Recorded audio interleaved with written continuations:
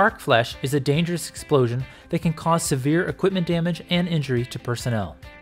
But these negative consequences can be minimized by installing an arc flash relay. This was illustrated when Evans Enterprises in Tulsa, Oklahoma was trying to minimize the hazard risk category of a cabinet that exceeded level 4.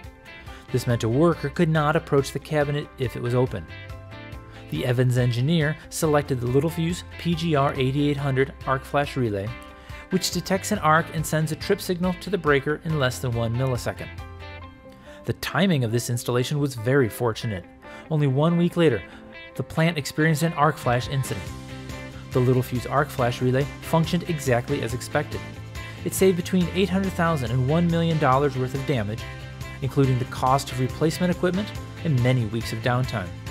Instead, the plant was up and running in less than 24 hours. The PGR 8800 acts as added insurance while improving safety and minimizing the harmful effects of an arc flash.